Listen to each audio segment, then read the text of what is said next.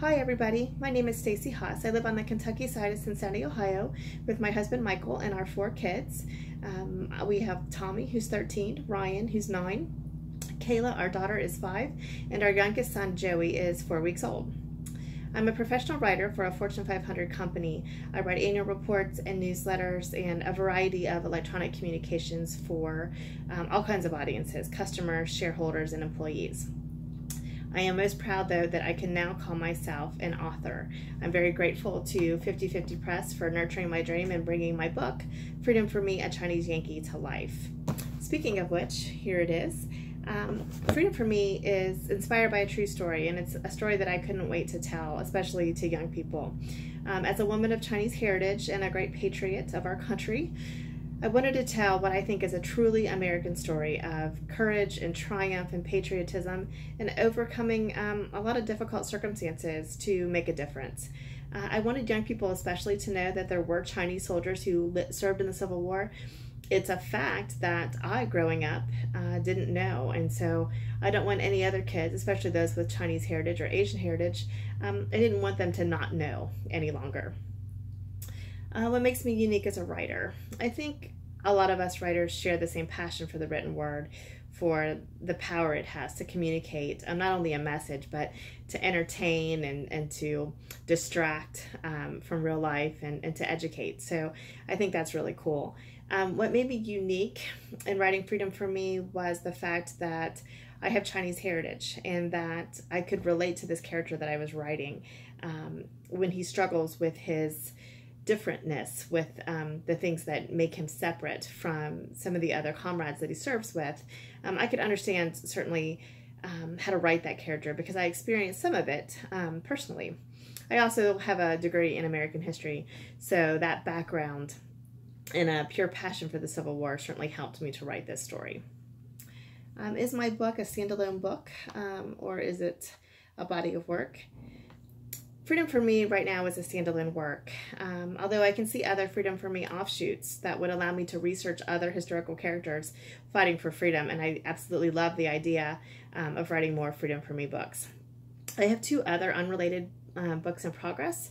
Um, I'm writing one, a contemporary fiction for middle grade readers based on two experiences that my young son Ryan have, has have had in his life, and then um, the other is a young adult fiction based on my experiences um, dealing with being multiracial um, in a pretty white rural community. Have I ever written myself into one of my characters? I have written myself into um, into my book. Freedom for Me, certainly, there were shades of me uh, based on my experiences as a multiracial person, but then certainly there are characters that are based on my husband, um, based on my parents, uh, based on a lot of people in my life. Um, certainly none of them are carbon copies, um, and that would be true of me as well, but it does give you something um, to draw on. The people you know the most um, and are the most familiar with certainly are the easiest to write, I think. What advice would I give my younger writing self? Well, that's a tough one. I don't know. I don't know that I have any. Um, and I think that's because I wrote first and foremost for me. My writing really started, um, gosh, I was probably five or six or seven, whenever I could write. Um, writing in journals and, and diaries and um, just try to figure out how I felt about things or to record events. That's the historian in me. Didn't want to forget. Um, in 1990, aging myself, in 1990 I wrote the play-by-play for the Reds um, World Series win, the Cincinnati Reds. So um, I did a lot of that and I enjoyed it. And so that's what started um, my writing career, and I think that's what sustains me even now. Writing a book is extremely difficult. There's a lot of research, there's a lot of just blood, sweat, and tears, frankly, and um, sometimes it's the passion and just the pure fun of it that you have to go back to. The toughest criticism I ever received. Um, I got some pretty tough criticism on an early version of Freedom for Me when I sent it out to um, a professional editor. Uh, he was just doing a test edit for me, just a quick read, but uh, the first chapter confused him, and so that was very distressing uh, to me. Um, but after a while, you kind of learn to read those comments for what they are um, their comments, their opinion, and they're often very constructive. That if you can take the emotion out of it, um, you really learn something. And if you take that in the spirit uh, in which it was intended and, get back to work, um, it usually works out pretty well. What did you edit out of this book and was it hard to get rid of? The history, for sure. It was really difficult. I knew so much about the historical facts, the background of this story. Um, the character of Thomas Beck, the main character of the book, is based on a real life Chinese soldier named Joseph Pierce. And so I knew so much about Joseph, or as much as there is to know, I think. And it was hard to keep all of that out, especially with battle scenes too um, you know, there's some pretty iconic battle scenes in this in this book. There's Antietam and there's Fredericksburg and there's Gettysburg.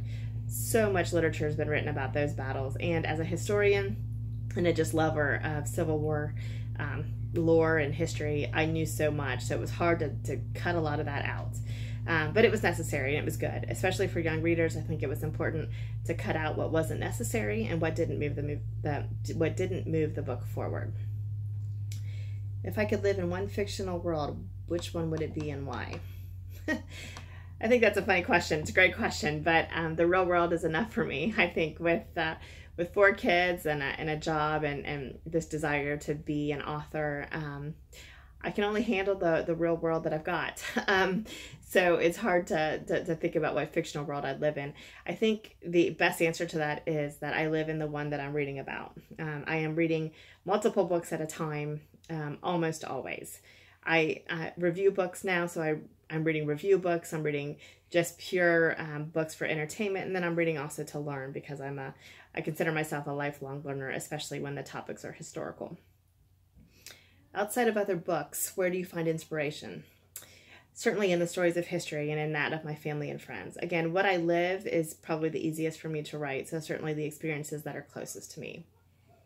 Did having your book published change your writing public process? It did. Um, you know, writing became very quickly something that I did for fun or as a hobby or as an aside. Um, not that I didn't have goals, but certainly I didn't have a deadline. So it was a lot different. Now that I have published my book, there's the business of marketing, you know, which is very tough, but which I try to do a little bit of each day. Um, some weeks are heavier than others.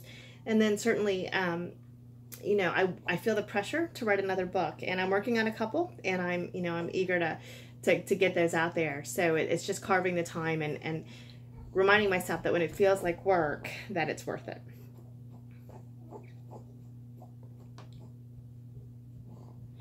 Pick up the closest book to you that's not your own. I'll turn to page 27.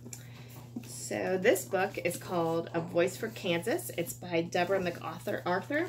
She it's a great book. It was one of the, um, the first books I read seriously to kind of learn how to write historical fiction. Page 27. I'll take that as a compliment, Papa said with a smile. Grandmother shook her head. What a waste of that beautiful dress, she said. She turned to Papa. You can still change your mind. You have a business here. There's more at stake than just a store, said Papa. Kansas must be free. Grandmother turned to Mamma. Mary Margaret, at least think of your children, she pleaded. What kind of education can they have in the territory? That's it. Um, that book again is called A, a Voice for Kansas um, by Deborah McArthur. Thanks, Megan. I'm sorry this took so long. Um, I hope you can work it in. Um, I'm not the best on video, um, but and I'm sorry if you can hear noises behind me. This is Joey. Um, say hi, Megan. Say hi, Steve.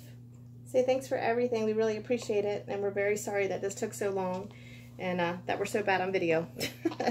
Good luck at Books Expo. Talk to you soon, guys. Bye.